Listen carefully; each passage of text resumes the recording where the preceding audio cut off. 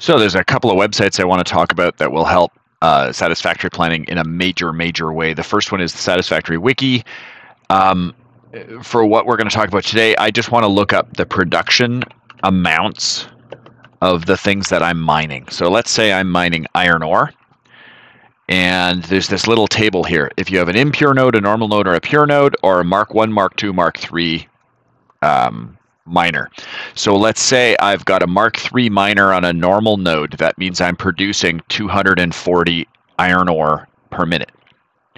So now I can go into my satisfactory-calculator.com.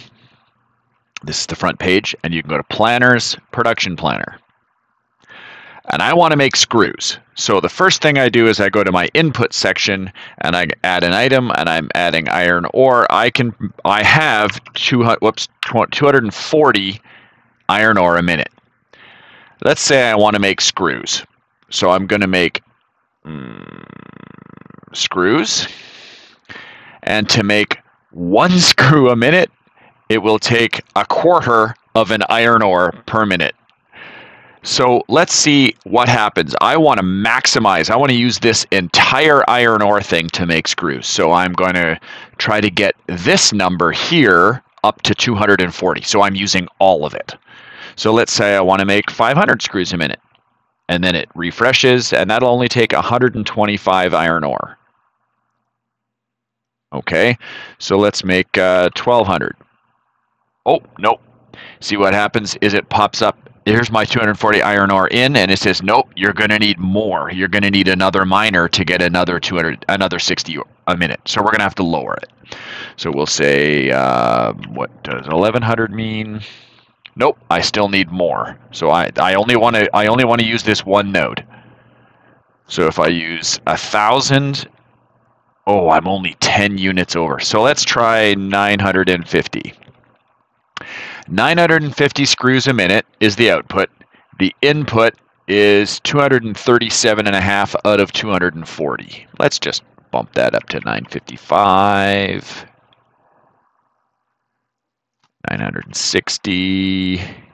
There we go. 960 screws a minute. My 204 iron ore in is being used. I would need eight smelters so I can set up a manifold to dump all of my 240 iron into eight smelters in a row, and then take all of that output, which will be 240 iron ingots a minute, and dump it into 16 constructors to make iron rods, which will make 240 iron rods a minute. I dump into 24 constructors. That's a heck of a lot of constructors. But it will make me 960 screws a minute and this is the most efficient way i can make screws. I will use 100% of one um, ore node and make screws. So let's say i uh, get an alternate recipe.